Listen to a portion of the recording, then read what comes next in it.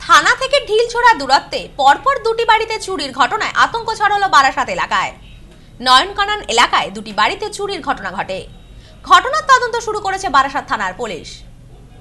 থানা থেকে ঢিলছোড়া দূরত্বে পরপর দুটি বাড়িতে চুরির ঘটনায় আতঙ্ক ছড়ালো বারাসাত এলাকায়। ঘটনাটি ঘটেছে বারাসাত থানার নয়নকানন এলাকায়।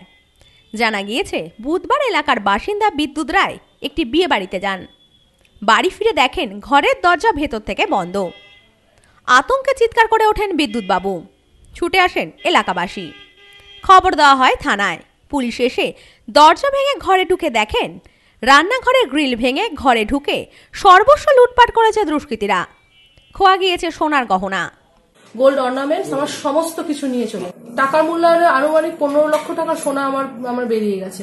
আমার খুব রিসেন্ট আমার বাবা আমাকে বাইশ গ্রাম সোনার একটা নেকলেসই দিয়েছিল পুরো সেটা তো নিয়েছি আমার বিয়ের সমস্ত মদ চেন চার পাঁচটা আমার লোহা বাঁধানো শাখা বাঁধানো পলা বাঁধানো আমার বালা তারপরে আমার বাচ্চার চেন রিসলেট আংটি সমস্ত প্রতিবেশী পাপিয়া মণ্ডলের বাড়িতেও লুটপাট চালায় দুষ্কৃতীরা।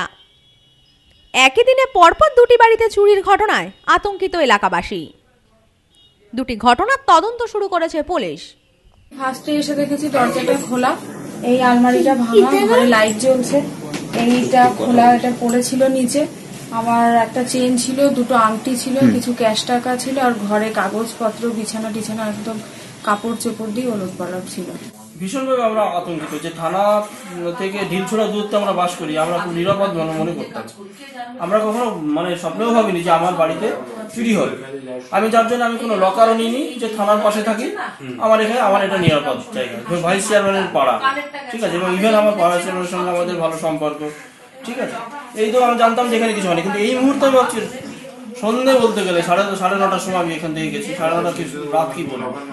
চারদিকে লাইট জ্বলো সব কিছু রয়েছে যে আম, এখানে কিছু হবে, ভাবতেই পারিনি। এটা যে হলো, এখন আমার খুব আতঙ্কে আছি আমরা। ব্যুরো রিপোর্ট, নিউজ নোমাইসল্যান্ড বারাসাত।